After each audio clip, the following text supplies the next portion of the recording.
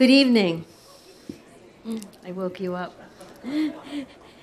My name's Sister Kathleen Duffy. I'm professor of physics here at Chestnut Hill College and also the director of the Institute for Religion and Science.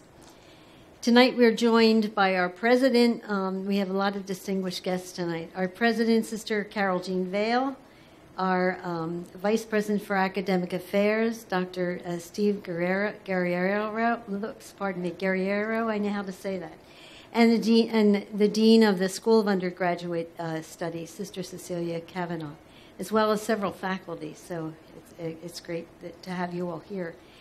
And we also have with us this evening several members of the Institute's advisory committee. Um, Ed Vinny, Dr. Ed Devinney, who you might remember from last year. He gave a talk.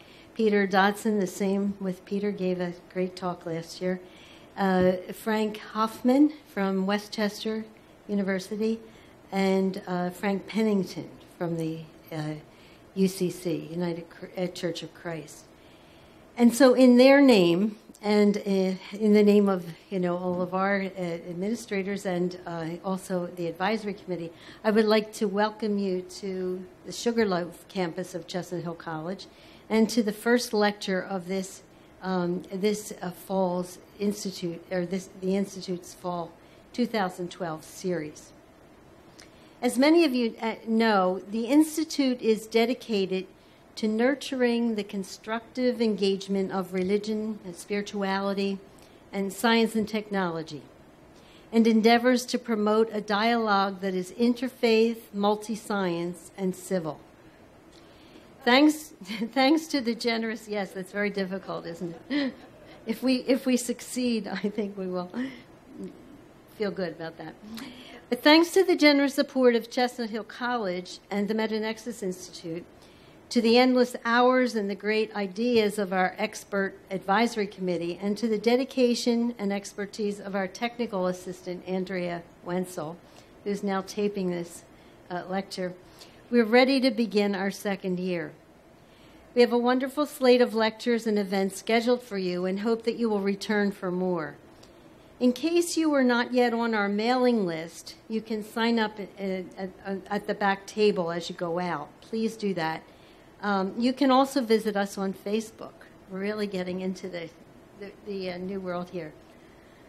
Um, uh, what else? We're also thinking about beginning a blog. We have the beginnings of a blog, so keep your eyes open for that too.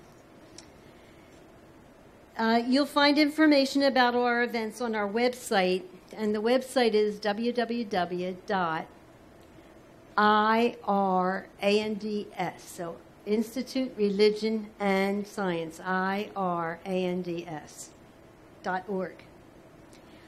Um, and on November 5th, we're, we're having Dr. Nathan Sivin, one of our neighbors. Uh, he's from the University of Pennsylvania. He'll speak to us about science and religion in China. And on November 26th, we will show the film Journey of the Universe, and for respondents, we'll have those who helped to make that film uh, Mary uh, Evelyn Tucker and John Grim of Yale University. And then next semester, we hope to have lectures by Andy Newberg from Thomas Jefferson Hospital, Ted Davis from Messiah College, uh, Father John Staudenmaier, Jesuit from uh, the University of Detroit Mercy, and Rabbi Nancy Fuchs Kreimer from the Reconstructionist Rabbinical College.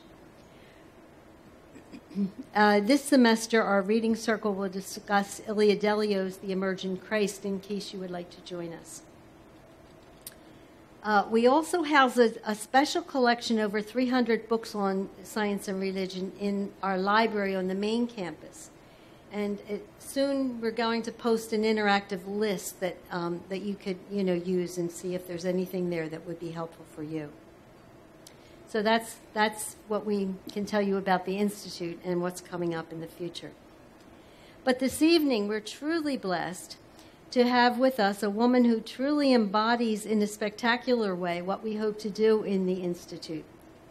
Dr. Celia Deane Drummond is both a scientist and a theologian. As professor of theology at the University of Notre Dame, she holds a joint appointment in the Department of Theology and the College of Science. However, during this academic year, Celia is working at the Center of uh, Theological Inquiry in Princeton, New Jersey, participating in a, as a senior fellow in a project on human nature and evolution.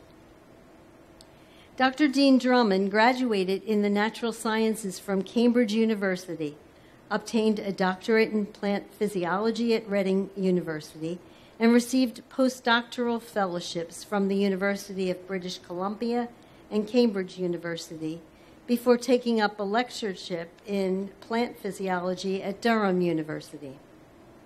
After a successful career in the biological sciences, she, just, she obtained an honors degree in theology and then a doctorate in systematic theology from Manchester University. From 2000, the year 2000 to 2011, she held a, professor, a professorial chair in theology and the biological sciences at the University of Chester and was director of its Center for Religion and Biosciences.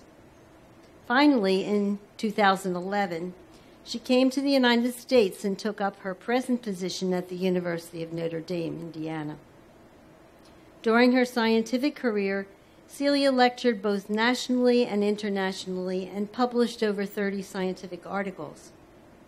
Now, after switching to theology, her research focuses on the engagement of systematic theology in the biological sciences on areas relating theology and theological ethics with aspects of the biosciences, as well as on practical ethical issues in bioethics and environmental ethics. Celia has published 22 books, 33 contributions to books, and, and 43 articles in areas relating to theology or ethics. Some of her more recent books include Creation Through Wisdom, Genetics and Christian Ethics, ecotheology, Christ and evolution, wonder and wisdom, creaturely theology on God, humans, and other animals, seeds of hope facing the challenge of climate justice, religion, and ecology in the public sphere. And the latest, I think, is joining in the dance Catholic social theology and ecology. And I skipped a whole lot of them. Celia has held many prominent positions in her field. In May 2011, she was elected chair of the European Forum for the Study of Religion and Environment. She has served as editor of the international journal Ecotheology and on the spirituality team at the Catholic Fund for Overseas Development, working explicitly in the area of environmental justice and climate change. And um, she is an editor of a new, uh, an upcoming uh, uh, uh, journal also. Uh, I didn't get quite the, the, um, the title, but philosophy and anyway.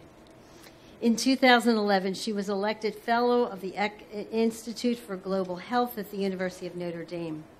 Tonight, Celia will speak to us on Christ and, e- and Ecology, Deep Incarnation. So please join me in welcoming Celia to Chestnut Hill College and to our Institute gathering.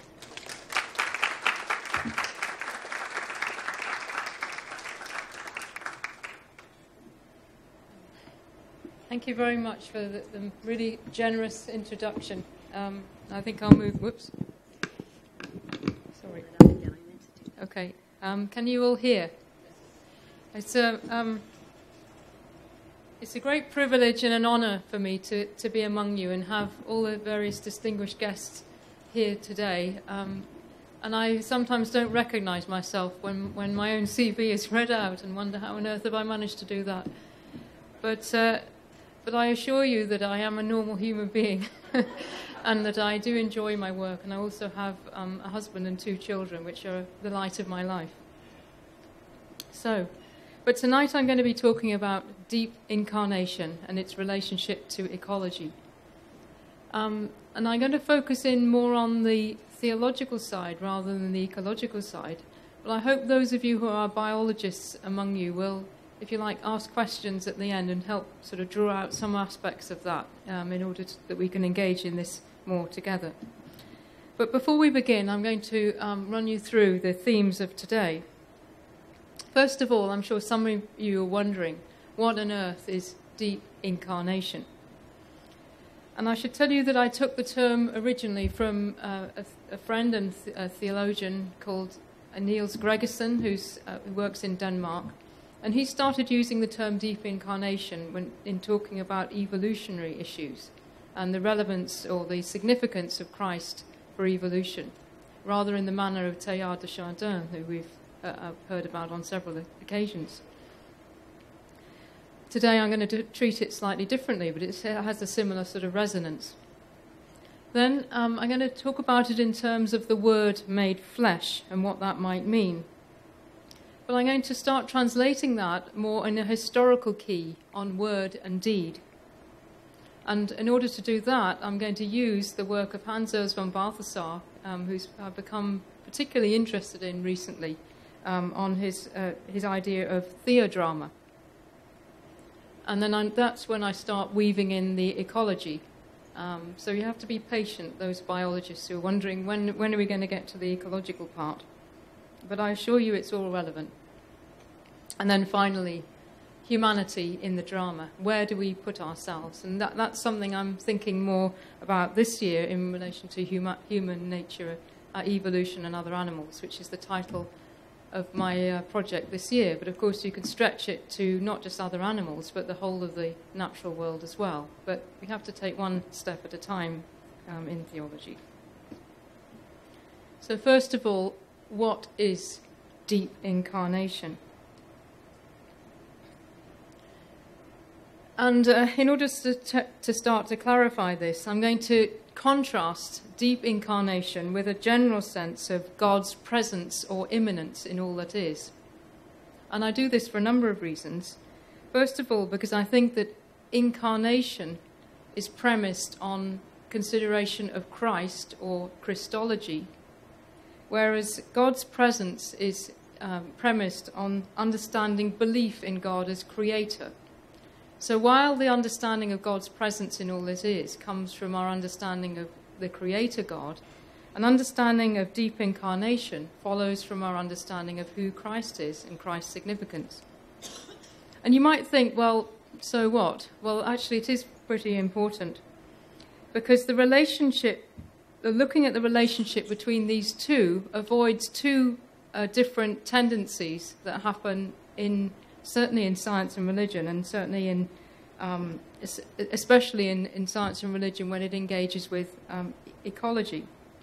One tendency is called Christomonism, that is, a focus on Christ to the exclusion of other branches of systematic theology. And the other tendency is pantheism, where we identify God with all that is. Now, by putting these two together, I would say that it avoids both those two possible tendencies. But at the same time, both um, Christ and, and, or God in nature is problematic if we see it in an exclusive sense, an exclusive sense both in relation to, to human, only human beings or only in relation to either one or the other. So, what I'm trying to do is an expansive version of what that might mean by linking up deep incarnation with theodrama. And If you don't know what I mean by theodrama quite yet, just hold off for a moment because we'll be coming back to that and I'll explain a little more what that, what, what, where that term comes from and why it's important. Well, we have to go back to the basics first. And the, the basics is, whoops, the word becomes flesh. So I'm grounding an understanding of deep incarnation in the Gospel of John. Logos becomes sarx, that is, the Word becomes flesh. But then in John, in the sarx, in the flesh, we see divine doxa, or glory. And behind this wisdom language of the Word becoming flesh, we find um, examples of Sophia. Sophia, as it were, is hidden from view, but Sophia is standing in for Logos, as it were, in the background. So when John uses the word, in the, in the, in the word we see divine doxa and the word becoming flesh. He has in his mind Sophia or wisdom. So the wisdom language, as it were, is behind what we, what we see. And many people, in recognizing this, and it's, uh, and it's something that we'll I, I will elaborate a little bit further later. But in recognizing this, they see, well, maybe there are cosmological themes at play here. Perhaps this is a metaphysical or co- cosmology that comes from the Stoics in the back of John's mind. Certainly, we do find these kinds of themes. In the beginning, creation, light, darkness, all in the prologue of the Gospel of John. And this is one uh, line of evidence that accounts for a cosmological interest in the Gospel of John. And it's something that Niels Gregersen has focused in on um, in himself in some of the articles he's done on deep incarnation. But I'd like to point out there's another strand too that very often uh, gets forgotten and one that um, that I think that we need to pay attention to. And that is the Hebraic emphasis on God in history is there as well in the in the um, prologue. So the action of God in history comes out in the words used, such as the tabernacle, glory, or endure, enduring love. So we have a, a richer, interwoven account of cosmology, but also the action of God in history. And in order to tease out this um, process a little more, I want us to look at uh, the relationship between word and deed. So, word, the word of the Lord, what does that really mean when we talk about the word, the word becoming flesh? What is at the background when scholars are thinking about what the, what the word is? And in Hebraic thought, we find that the word is often associated with deed. So, um, the word of the Lord, logos, or, logos kyrio, which is the Greek, is a, a, dynamic interrelationship of both word and deed coming together in Hosea 1:1 and Joel 1:1. At the same time, the word is life giving, and the word is also healing. And these are some of the texts that um, I refer to. Uh, to give you examples of that, I won't read them out. Um, but at the same time, the word is illumination. So the word is life giving, healing, and creative, um, and illuminating. And we can ask ourselves, um, what then uh, does this mean about the, the word, um, uh, uh, the, the word and deed in, in the prologue? What might, it, what might it mean in this context? And uh, one of the uh, one, one of the if you like, the teasing out of this particular analysis suggests is that it's, it's not enough simply to think of deep incarnation being Stoic or being a, a result of Stoic cosmology. There's also something else going on here as well, which has to do with action, with deed, um, uh, and with uh, a movement, as it were. And so it becomes a, a, way of, if you like, uniting the universal with the particular, the universal in the cosmological strand, but also the particular in the more Hebraic emphasis on particular um, instances of, of, of, deed, the Lord, uh, the, the word and, and deed.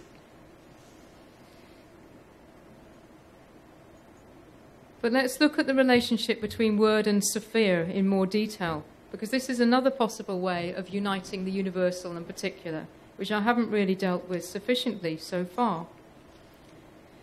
And these are the number of parallels between Sophia and Jesus Sophia. So, what I'm saying now is that there are examples in the, in the scriptures in the Hebrew Bible, such as Sirach 24 8, which refers to the Sophia being sent into the world. And that's exactly the way Jesus is spoken about in the prologue. So the Logos, or the Word, being sent into the world, is in parallel with Sophia being sent into the world. And these parallels are not just um, accidental, they seem to happen again and again and again. Sophia delights in family. Jesus Sophia lives among us, if John 1:14. Sophia abides in the created world again, the Logos is, is integral to the created world, referring to who Christ is. Sophia is also uh, the cause of division and rejection, showing some parallels again with Jesus, Sophia. And I'm calling it Jesus Sophia as a reminder that really there's a, there's a parallel really between who Christ is and, uh, and the Sophia language. And Sophia appeared on earth and lived um, with humankind. Uh, Baruch 3 37 to 38. And this is the crucial difference. In Jesus' Sophia, Jesus became human flesh. So Jesus didn't just appear on earth and live with humankind, Jesus actually became human flesh.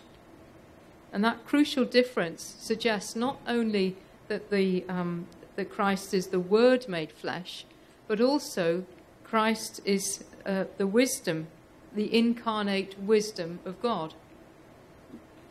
So, so God, Christ, Jesus is the in, incarnate Word, and Jesus is the incarnate wisdom. I'm not the first person who's noticed the significance of Sophia for Christology, and to pretend to um, do so would be facetious on my part. Um, Sergei Bulgakov is an Orthodox theologian who, in the last century, developed uh, his um, understanding of the Lamb of God, incidentally, around the same kind of time that, Teilhard de Chardin was writing his uh, particular uh, books um, on, the, on the topic of, of uh, the human phenomenon. Um, so, and both scholars, I would say, have important significance for what we're trying to do today. But Bulgakov has, I think, been neglected um, rather more than, than Teilhard de Chardin has. Um, and his, he is interesting because he situated himself, as it were, between the West and the East in the manner that Teilhard de Chardin could also be said to have situated himself in the, on that boundary between the East and the West.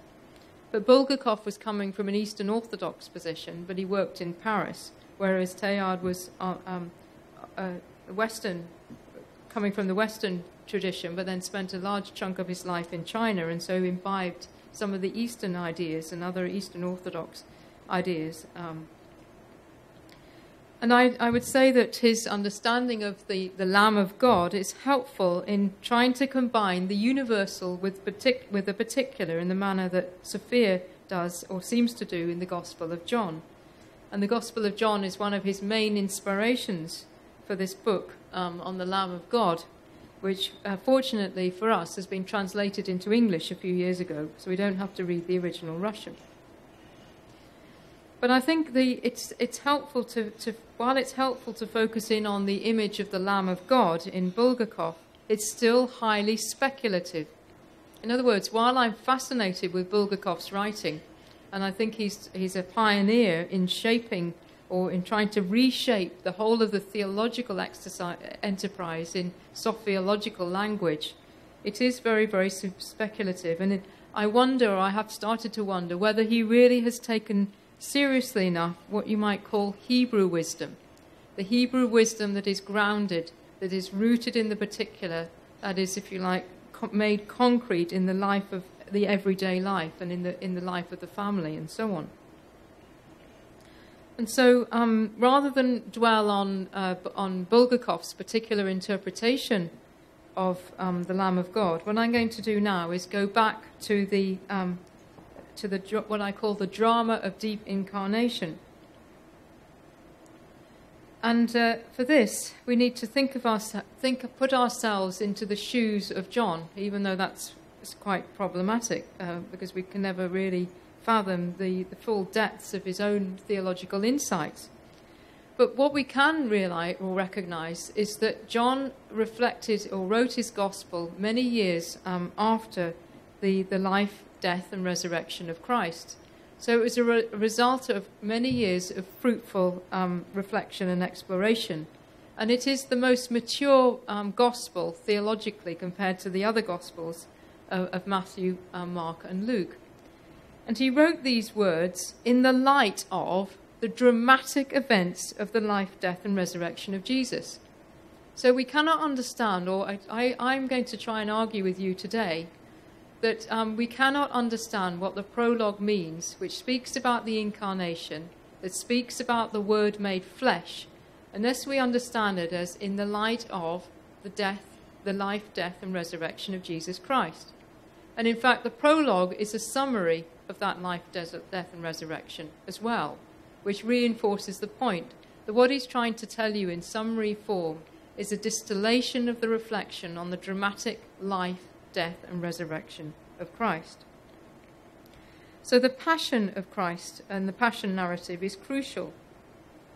And um, inasmuch as, uh, as the incarnation, as it were, identifies with our mortal flesh, it's also about entering into suffering flesh, um, entering, identifi- identifying with our mortality and our fragileness. So God identifies with creaturely mortality in the incarnation. And this is one of the meanings or interpretations of deep incarnation that I want to present to you today. It's a particular history, the history of Jesus Christ, but it's also a very profound history because it goes to the depth of who we are as fragile human beings and goes to the depth of all created flesh, not just human flesh. So, in this sense, Christ stands for suffering and dying creatures. The question then becomes how? How might um, Christ, in some sense, stand uh, for all of us? One possible way of um, meditating on this comes from thinking of Christ as, um, or humanity as a microcosm. So Christ, in a sense, is a, a microcosm, rather like the ancient um, idea of humanity as a microcosm. And so humanity then is standing in for the processes of the earth. So we get generate in this um, thought anthropological cosmology, but also cosmological anthropology. Humanity, as it were, takes up and includes the cosmos. At the same time, the cosmos also expresses humanity. And I would say that the, the book, uh, the first uh, chapter of the, of the letter of, Colossians expresses this idea. It's, it's, a, it's a beautiful hymn to wisdom, but it's also speaks of Christ being both there at the creation of the world, but also the world being redeemed through Christ. But it's in wisdom language. But what's very different is that rather than just adopting the wisdom language and the wisdom hymn, the author of the book of, of the letter of, of Colossians, the Epistle of Colossians, introduces the blood of the cross. So, just as um, the word, uh, when, when we're speaking about a Sophia language, the difference is that Jesus, Sophia, becomes flesh, which is different from how the, um, the, the, Hebrew scriptures understands the role of wisdom. So here, um, wisdom is reinterpreted through the blood of Christ. So it qualifies what I would call the cosmological and liturgical hymn to wisdom. And if we begin with the cross, we are probably less likely to go into a kind of speculative ontology that is always lurking in the background if we just focus in on wisdom um, and on cosmology to the exclusion of, of what I call practical realities. But then we have to say to ourselves, how can we read um, our history or read Christ's history in the light of this universal significance? We need to try and probe this a little bit more. Yes, this um, epistle of Colossians speaks of the immense cosmological importance of Christ, but how do we um, read uh, the particular history of Christ in the light of this universal significance? And here I'm going to um, wheel in um, Hans Urs von Balthasar on, and his understanding of theodrama. For Balthasar, the central act in the theodrama is the, God's action in history in the passion narrative of Christ. Drama invites participation by all of us. We cannot be simply external observers in the way that we might be able to be if we were just watching a narrative or seeing a, what some people call a grand narrative unfold. Theodrama invites us in. It insists that we position ourselves, as it were, in the process, in the drama. And it's, um, it's weary of what might be called false objectification, the attempt, as it were, to stand outside and, and pretend that we can be outside observers. And what I like about uh, theodrama in particular is that it mediates or seeks to mediate between history and more ontological approaches to Christology. And if we look at what um, Hans von Balthasar says about the cross, this is what he, he claims. God's entire world drama hinges on this scene. This that is the scene of the cross. This is the theodrama into which the world and God have their ultimate input. Here, absolute freedom enters into created freedom, interacts with created freedom, and acts as created freedom. This is a profound mystery that even von Balthasar, in all his uh, writing, cannot fully fathom. But at the same time, the theodrama is then the revelation of the Trinity. It's the revelation of self giving love of God for the world, which is at the heart of the theodrama, and it's also the heart of the deep incarnation. So, if we're going to understand deep incarnation, of, or the Word made flesh, then we have to meditate on the self giving love of God, which is at the heart of theodramatics. So, deep incarnation means deep into the fragile, suffering, and mortal flesh, but it also reveals the depth of the love of God for the world. And Balthasar um, says this further on the cross as well. It is the drama of the emptying of the Father's heart in the generation of the Son that contains and surpasses all possible drama between God and the world. So, this is the ultimate drama, as it were, to which all other dramas pale into insignificance. But at the same time, we somehow are invited in to participate, as it were, into what is going on in this process. Of course, fortunately for us, um, the, the cross is not necessary for Trinitarian relationships. So it's not as if, and I have written a critical article on von Balthasar um, in this respect, in that I think uh, he sometimes gives the imaging, the image of God as a kind of punishing God, and I think we need to get away from any sense that this is, if you like, um, something that God intends. But at the same time, we must see this movement as a movement of, of deep love for the world, and not, if you like, try and escape from the suffering that is part of this theodramatic action. But suffering is not the end of the story. The theodrama doesn't end with the cross, it ends with the, or the, the, the cross, if you like, then three days later, we have the, the, the dramatic events of the resurrection. But before we get to the resurrection, Balthasar encourages us to meditate more deeply on, uh, at the, on Holy Saturday, here, and this is probably one of the most original aspects of his theological corpus, where he understands Christ as sinking into the world of the dead, in solidarity with those who are dying or even face death. So here, the fear of death is challenged. So it's not just mortality that we come uh, to embrace, but the fear of death is part of what um, deep incarnation means. So the depth of existential identification with human beings includes this fear of death, which is unique, I suggest, to human beings. So, part of that uh, process of, of deep incarnation is one of complete identification, not just with the dying process and our mortality, but also the fear of dying and the fear of what lies beyond death. But this is a shared experience with other creatures in that other creatures are also facing their, uh, facing their deaths, but not in a self-conscious way that, um, that is in the way that is true for, for human beings.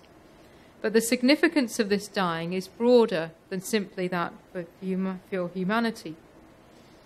And this is where we um, come to an understanding of, of deep incarnation as pneumatology or as part of the life of the Spirit because it's part of a, a woven history of entanglement. And this is where I start to, um, if you like, depart from Balthasar more significantly than just being critical of his own particular image of God uh, in relation to Christ on the cross. Because Balthasar um, doesn't take uh, sufficient notice of ecological, relationships in, in coming up with his image of theodrama. For him, it's only human beings that are part of the theodrama and not other creaturely kinds. But it doesn't take too much um, imagination to suggest that we can expand theodramatics and include other ecological relationships and other um, ecological beings in that um, expansion. Of course, uh, Balthasar never intended his um, theodramatics to morph into a grand narrative, because that was the very uh, basis on which he wrote his theodrama. But I think a, a greater stress on inclusivity and improvisation on the part of God's action in the theodrama counts against um, this tendency to become um, a grand narrative that's somehow detached from creaturely reality. And this is where I'm going to bring in contemporary ecological philosophy.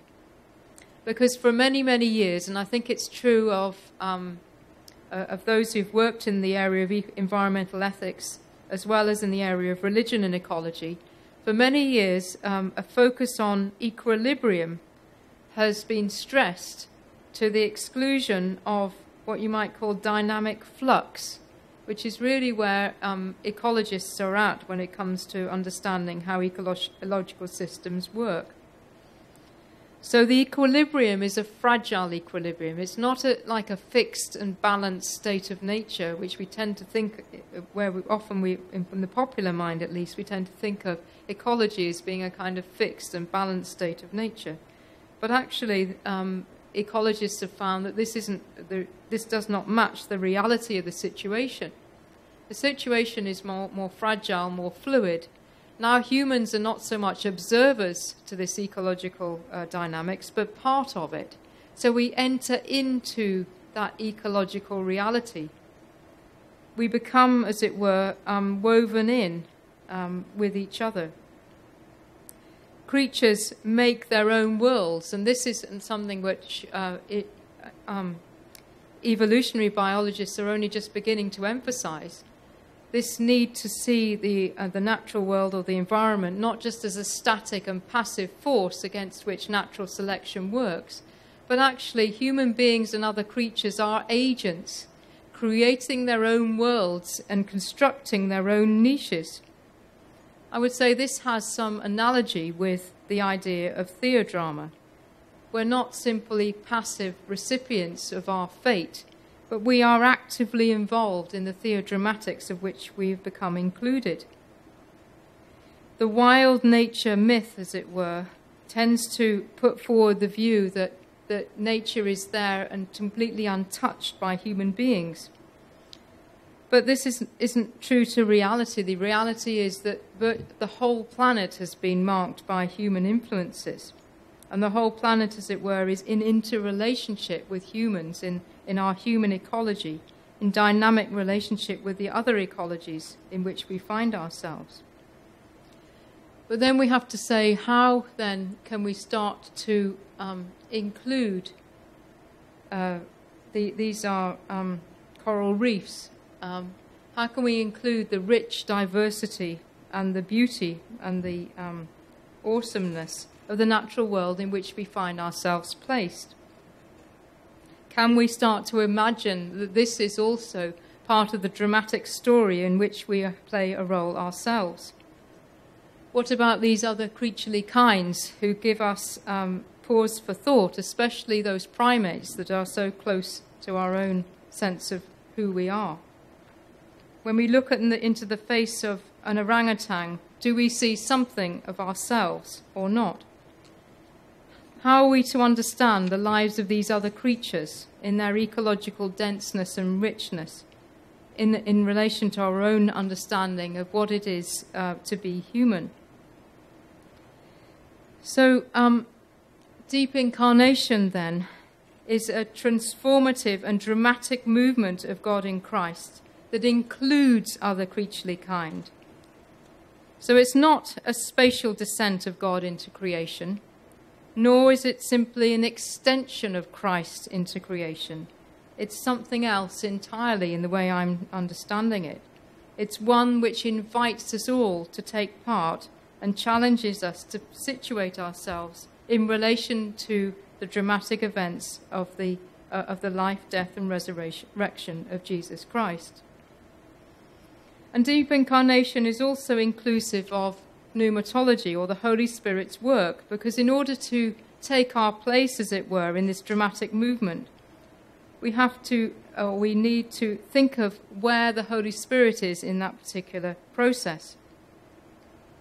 And for that, I'm going to come back now to um, presence uh, uh, and action. Um, first of all, deep incarnation means more than divine presence, where Christ is view as, viewed as emergent. And I'm saying this because one um, interpretation of Christology is that just as uh, human beings emerged in the evolutionary process, according to some scientists at least, so Christ is, if you like, another exemplar of a higher form of human, perhaps. Um, and this is the, uh, the, understanding of Christ as a kind of em- emergent divine.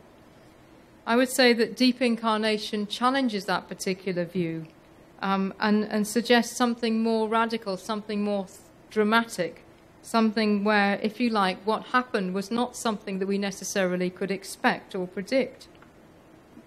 So Christology then has transcendent significance, even if it begins with history. God as creator, as it, as it were, is still there, though. God hasn't abandoned um, the creation. So the divine presence is there, hovering, as it were, in the creative process. But now we have Christ as deep incarnation committed fully to the, uh, the material world and identifying with um, the, the mortal fragility of our own human lives.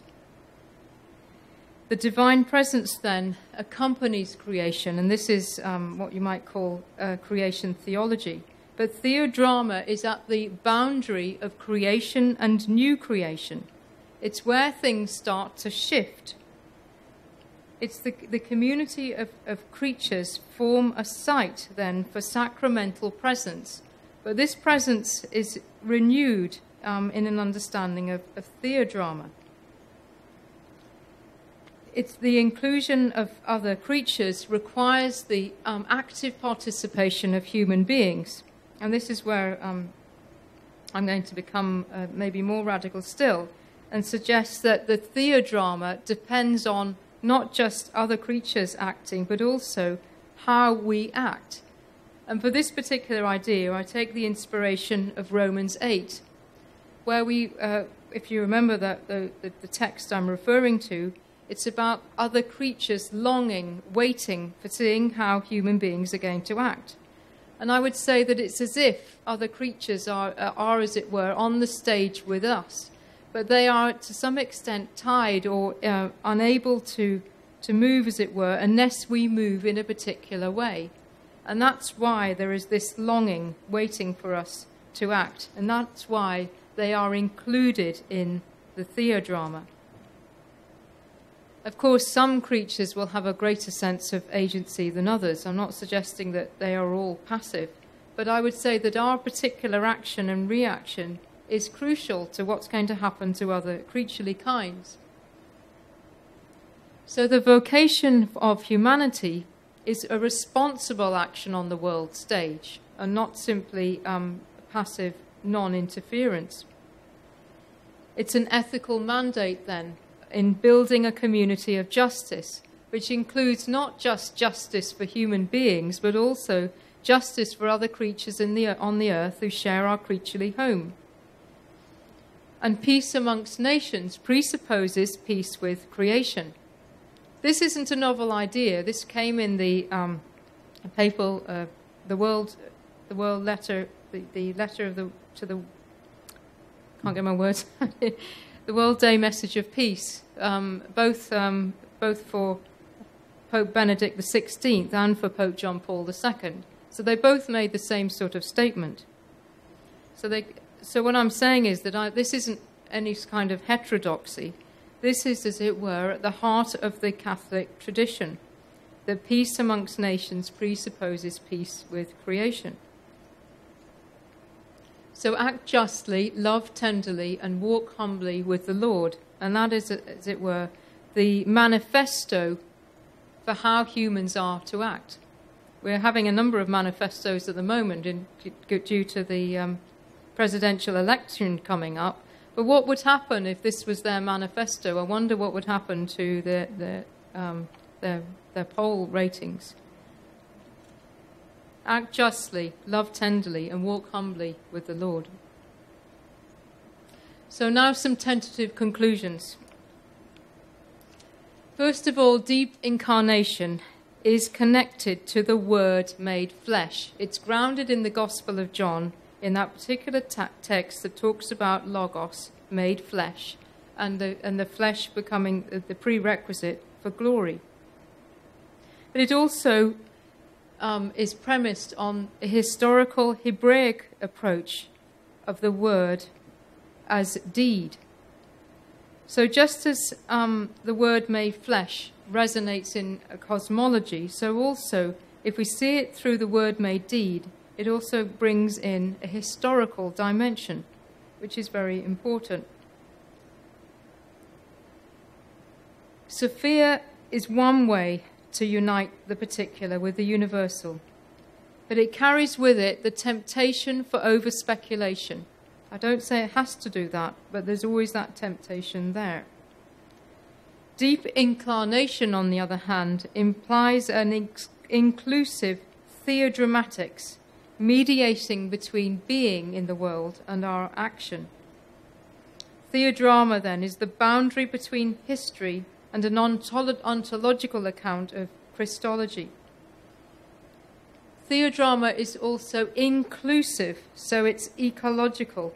So it has importance for ecology and how we think about what ecology means and its significance for our um, theological understanding of who Christ is. And this is my last um, slide. Theodrama is at the boundary of creation and new creation. A new creation includes the awareness of resurrection hope, where the love of God is expansive, bold, dramatic, and dynamic. It involves the action of the Holy Spirit, and so, in this sense, points to the vocation of human beings. So it points to what human beings might become. So, deep incarnation, as I understand it, is a challenge for us to act in the light of the common history of the earth in which we find ourselves, in the light of the future and somewhat fragile planet in which we find our creaturely home. And with that, I'll finish. Thank you very much.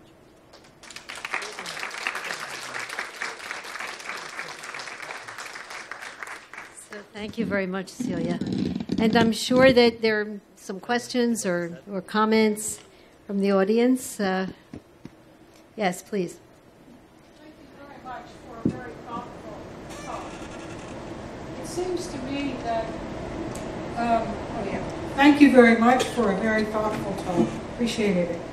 It seems to me that the link between human beings and other creatures is the weakest link in your talk in a certain manner of speaking, because the evolutionary paradigm does not really address our links to my satisfaction.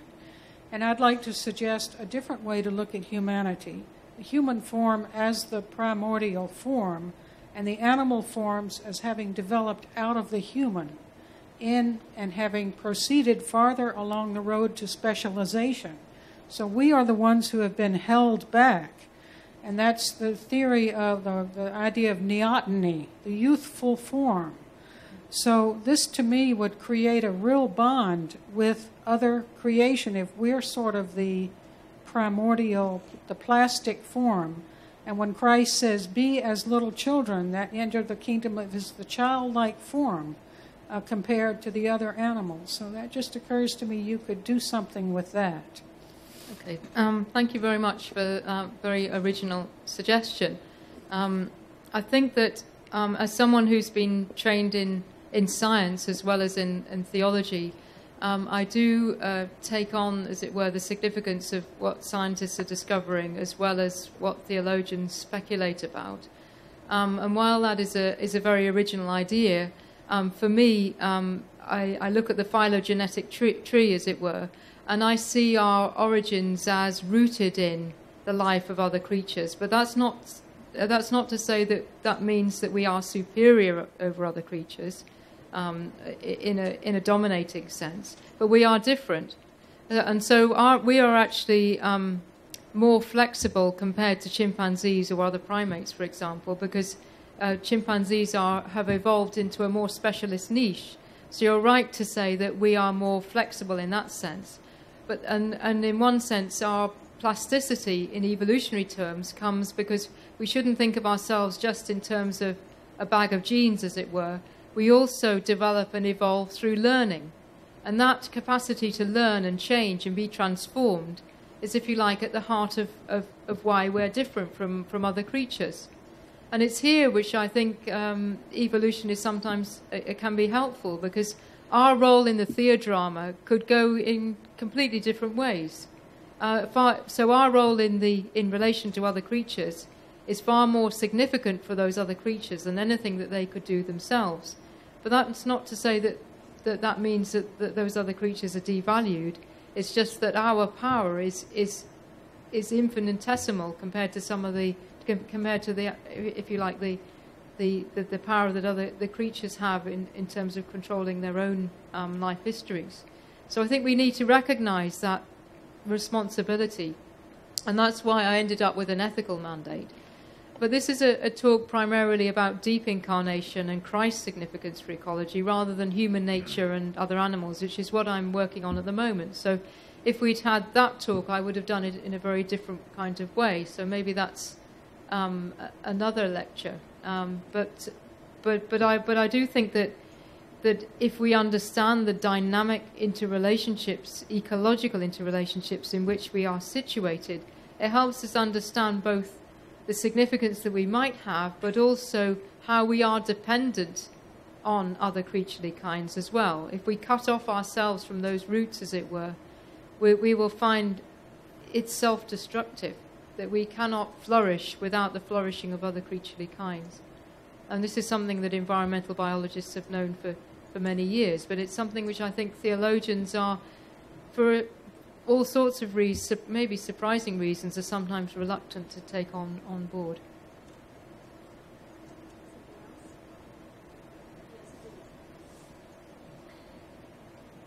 Could you say a little bit more about deep incarnation being more than um, Christ emerging.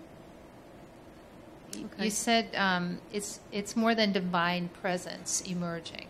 Yeah. It's mm-hmm. more than the accompanying of the divine. Yeah. Could mm-hmm. you say a little bit more about that? Okay. Um, what I was trying trying to do is to uh, throughout the to, uh, the talk today is is set up a, a, meditation really on the Word made flesh, um, and an, an understanding of that both in historical terms but also in, in cosmological terms as well.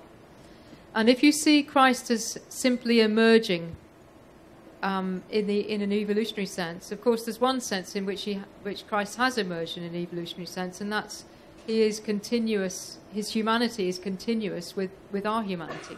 So, in that sense, Christ is emergent in that he is born of a living human mother.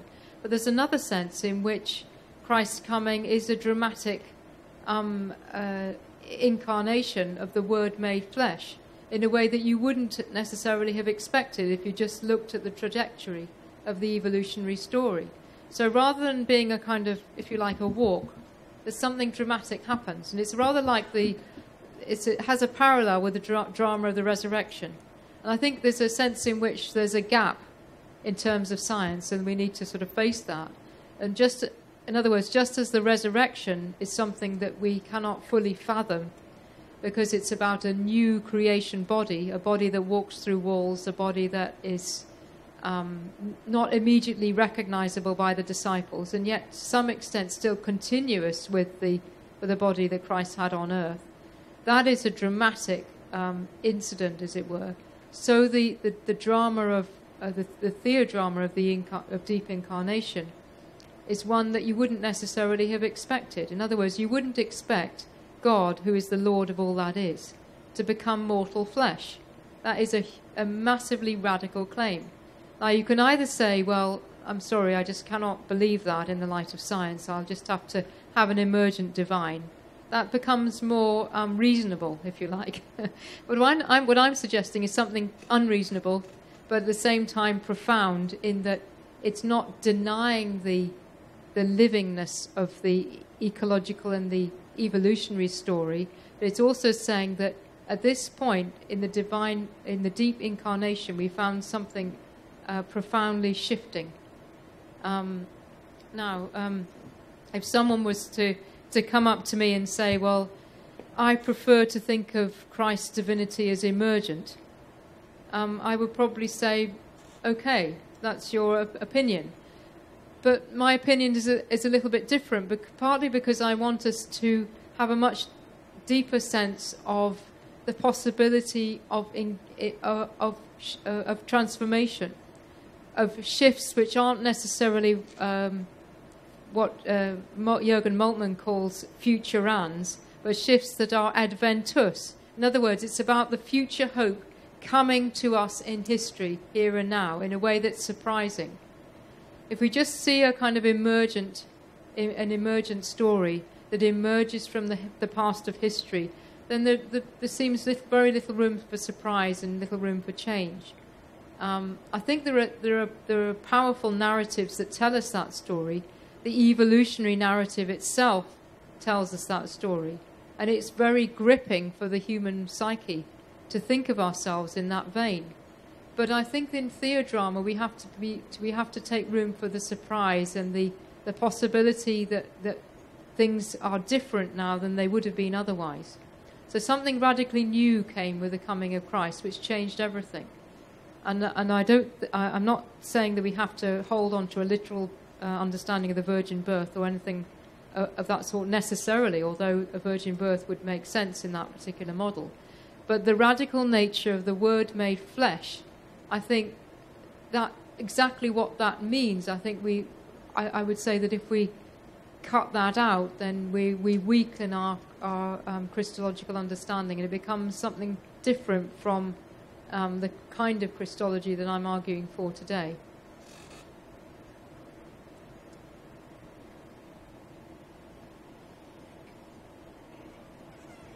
Thank you for a very interesting lecture. I'd like to know what sort of prayer life would be consistent with this vision.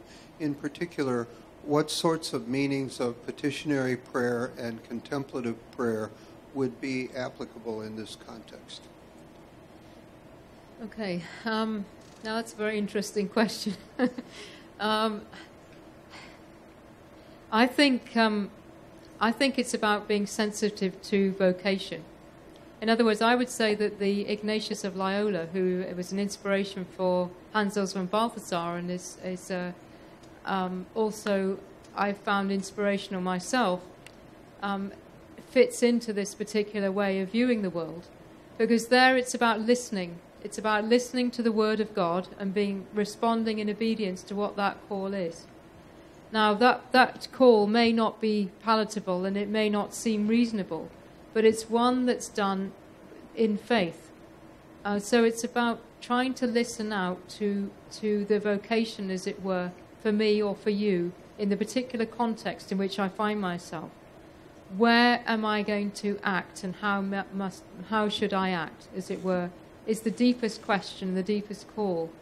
And of course, uh, Ignatius of Loyola also um, put a high premium on Christ, Christ in all things. He didn't have, I would say, so, uh, so such a sense of the, the, the theodramatics and the way that Balthasar has, but at the same time, uh, Balthasar situates his theodramatics between what he called the lyric existential approach, or the life of prayer, and the, the life of, of narrative. Um, so it is a narrative, but it's not a grand narrative. It's a situated narrative that's particularized by a prayerful sense of response. So, so I would say that if you if you put it in the in the um, in the starkest possible form, the prayer life is one that's modeled on Mary. Mary could have said no. That was the most dramatic event in the whole of the Christian history. The angel Gabriel says, You will conceive and bear a child. she said yes, what would have happened if she'd said no? The whole of history would have changed. That is the very human theodramatics in action. And I would say that is also one of the models on which we could also see of ourselves, perhaps, if we don't like to see of ourselves as imago Christi, perhaps we can see ourselves in some sense patterning the way or the manner in which Mary was able to respond to that particular very unusual request.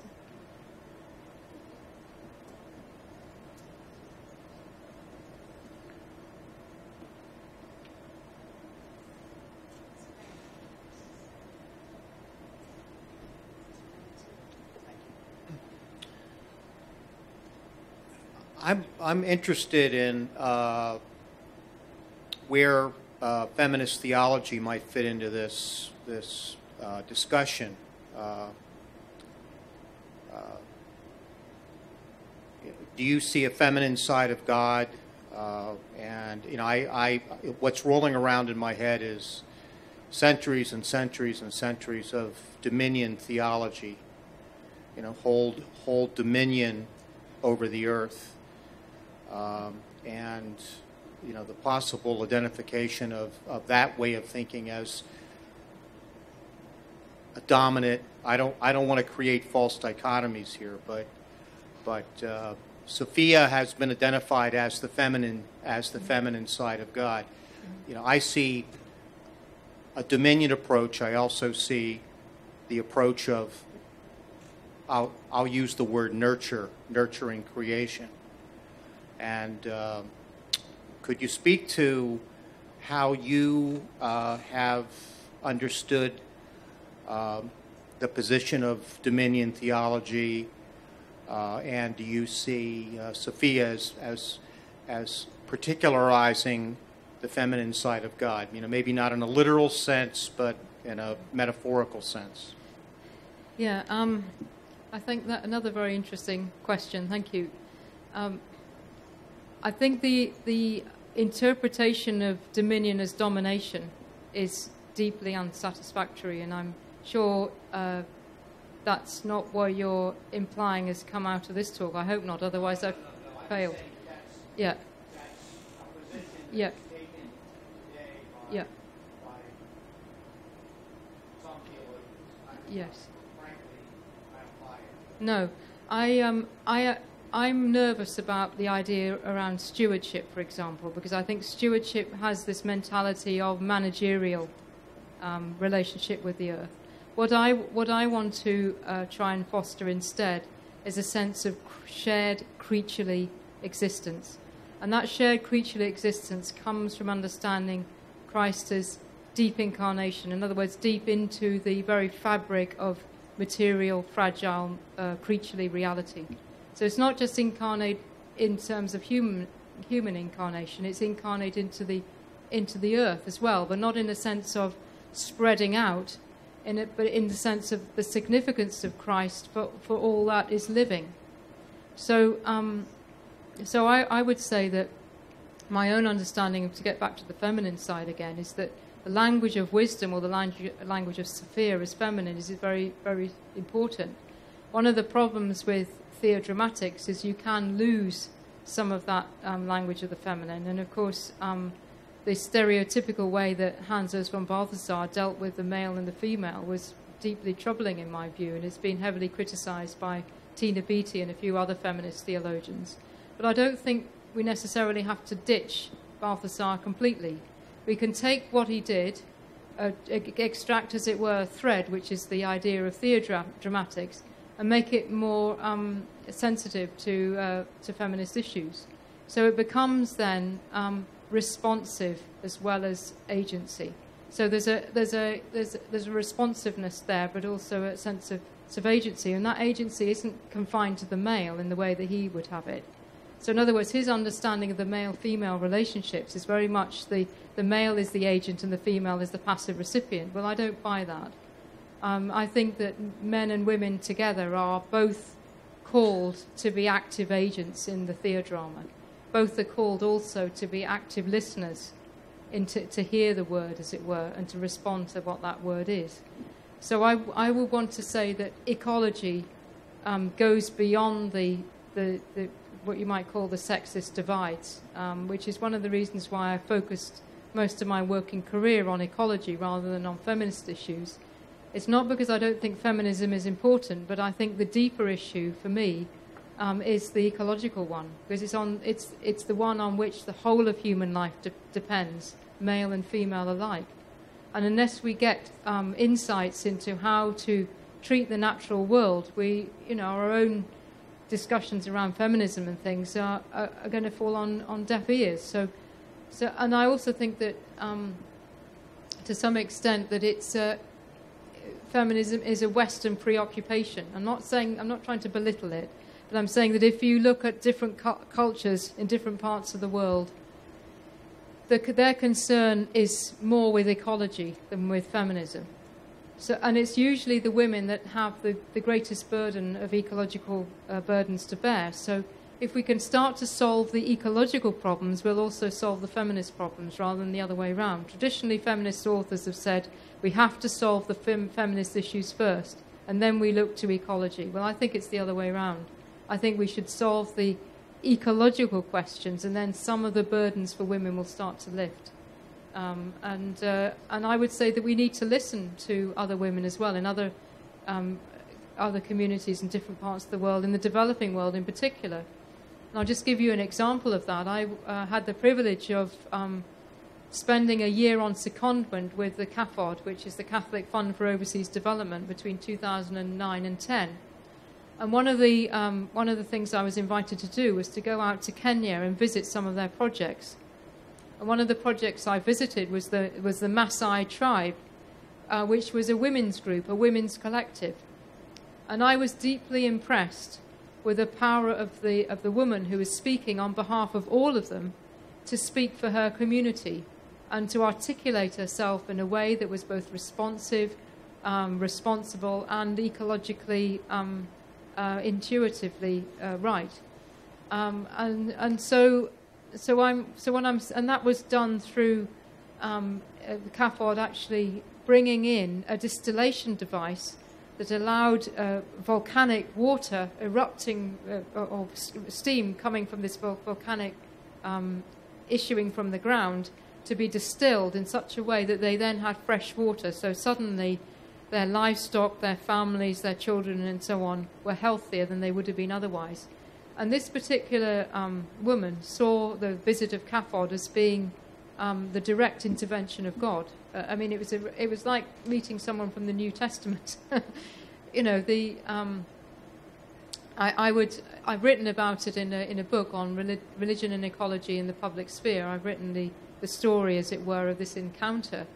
Now, whether or not you say, oh, well, this was a very naive faith or whatever, I, I think that's, in a sense, beside the point. What was important was that she saw herself as part of a theodrama, only she wouldn't put those words on it. And we've got taped recordings of that um, interview with her. Um, you know, so it was written down, and we were faithful to what she actually said rather than trying to put words into her mouth, as it were. So we went there to listen, and we were astonished by both the solidarity of that group, um, but also um, this this sense that she had that that we were, as it were, sent there by God to uh, enable orphans to flourish where they hadn't flourished before. In other words, she was using scripture and interpreting it literally in their case. Um, and I found that really quite remarkable.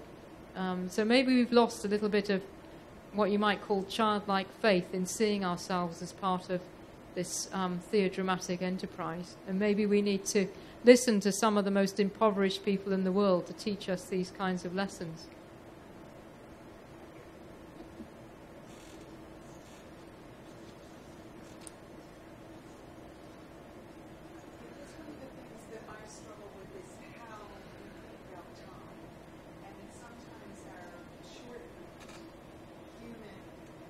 How we think about time influences how we understand the unfolding of the drama. You know that so your word accompanies the divine presence accompanies creation.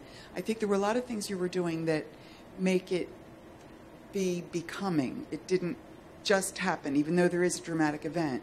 Oh, yeah. But that mm-hmm. dramatic event is happening for us, for these women in, in where you are, you know. And I just wonder how you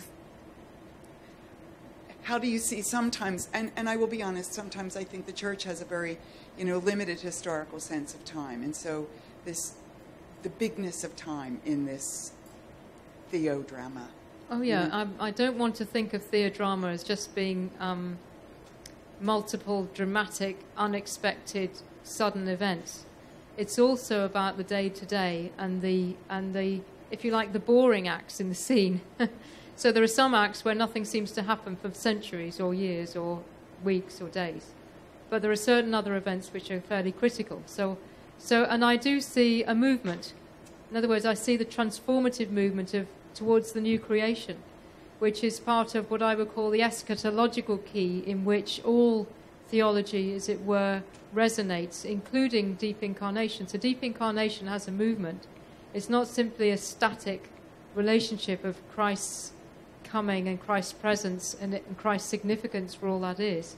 There's also a movement in theodrama because theodrama is historical because drama is about history.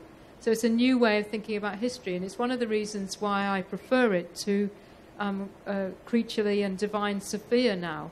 Because although I have found that deeply um, attractive, uh, and although I'm still attracted to that idea of, of divine and creaturely Sophia, there isn't this movement, there isn't, the, if you like, this movement towards change in the way that you do get with theodramatics.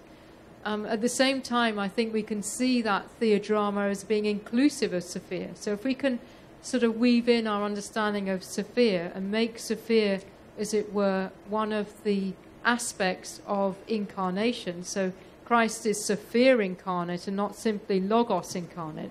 then it starts to change that Sophia, creaturely Sophia, divine Sophia dialectic. It becomes part of the movement. Wisdom accompanies then the movement towards the kingdom in the way that I think that theodrama, theodrama leads us to what I'm working on at the moment is looking specifically at the human uh, human uh, person in relation to other animals. Um, and it's a theological anthropology, as it were, in the light of theodramatics. Um, whereas what I was talking about today was more about Christology. But what I want to do after that is to look at, eventually, maybe 10 years or however long it takes, uh, is to look at pneumatology because I think pneumatology is crucial in thinking about the human person and thinking about the, the future of creation. So, um, so but it, we have to take our each step one at a time, and each step is tentative and exploratory. And I'm not suggesting I have the last word on this. I'm saying it is, it is um, an exploration in theology, and it's an exploration of ideas uh, it's not intended to be any, any, sort of final word or any sort of rigid word. It's intended to open up um, reflection, open up uh, insight, open up new ways of thinking about ourselves in relation to who we are, in relation to God, and so on. So I don't want to close off the conversation or have it as static. I want it to be moving, moving forward, and maybe changing, improvising. I think the theodramatics is about improvisation. Now, what's interesting is the, the combination of improvisation and direction in the in the theodrama. What what what do we do with that? And I think that the guidelines are very fairly general. Uh, just as Simon Conway Morris talks about convergence in the evolutionary story, convergence on certain forms in a way that he describes as uncanny, but also there's a lot of contingency there. And Stephen Jay Gould has stressed the contingency. So in theodrama, there's a similar pattern, a pattern of certain convergencies, but also a lot of contingency, a lot of unexpected events, but also ones which where you can see a movement. And we are not in the position of God, so we do not see where the necessarily where the movement's leading us to. But the but we ha- I think in faith we can accept that that movement is there, and that movement is part of the story in which we are bound up ourselves. That was a very satisfying answer. Thank you.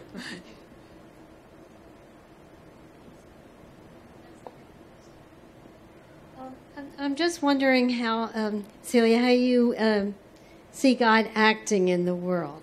Um, I guess uh, for Sophia, I, I would see her as the inspiration, the embedded presence that inspires us to, you know, that draws us. And, um, or in Teilhard's, you know, view of the cosmic Christ leading us forward. Um, you know, how, how does that happen? You know, how does God act um, here? I mean, I see that the, uh, the pattern, the, the life, death, and resurrection pattern is all over. I mean, it's in the natural world. It's you know, it's it's in my life. It's everywhere. But but how is is God moving us?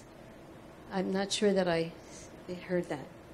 Yeah, that's um, that's another another very profound and difficult question. um,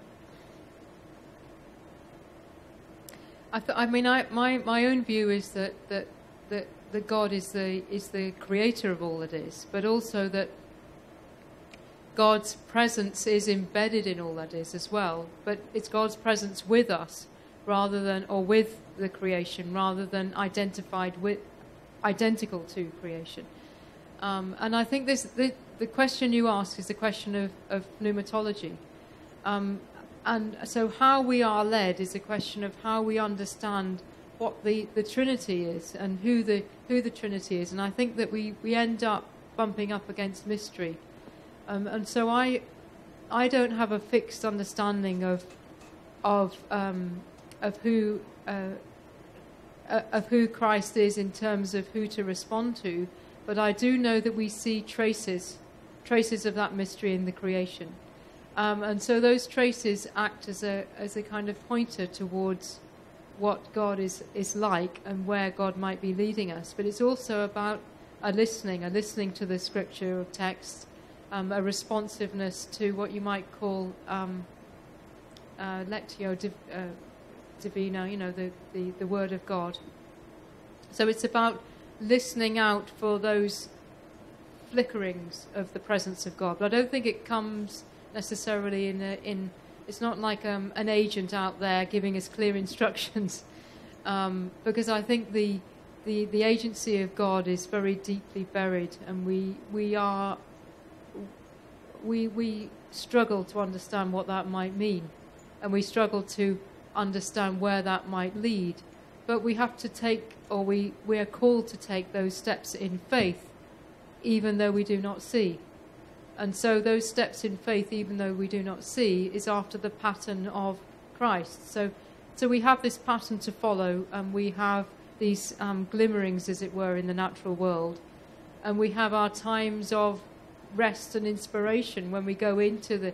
I mean, for me, the most the the, the presence of God is at its most intense um, in the natural world.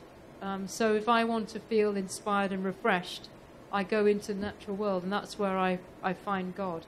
Not in a literal sense, but in the sense of a renewing sense of the presence of, of God. Uh, and so, um, so I think, um, but it, different people have have different kinds of perceptions, and I think the insight comes using a Lonergan's uh, language. Insight comes in knowing ourselves well enough to know where those flickerings of, of God will come to life. And so trying to understand ourselves and say, well, what is it that gives us that insight, that gives us that flickering sense of God? Is it reading the scripture? Is it going out into the natural world? Is it listening to music? Is it just being still and listening out for an inner voice within?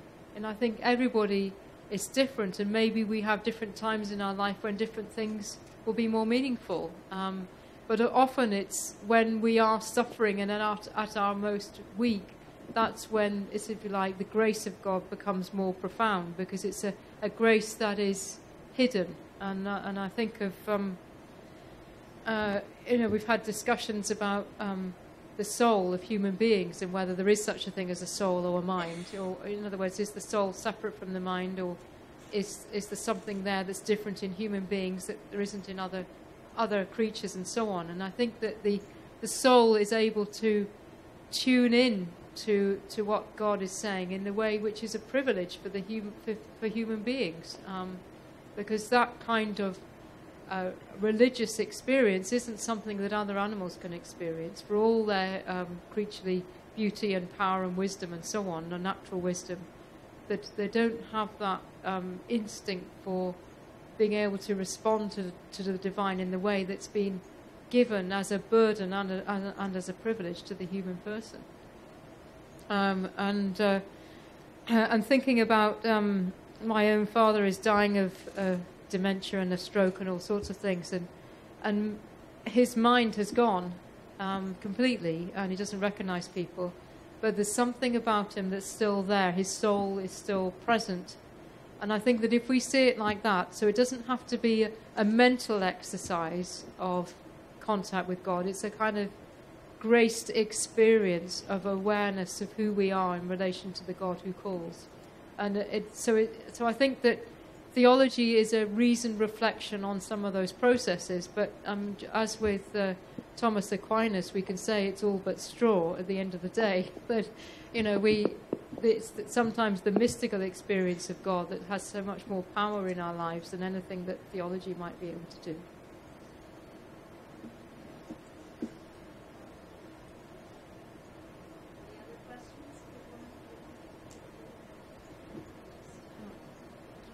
Thank you.